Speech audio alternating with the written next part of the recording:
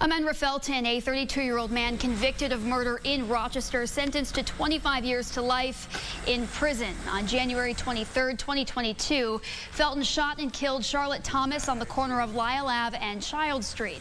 Felton fled to Texas, where he was later taken into custody. The district attorney's office tells us Thomas had no relation to Felton.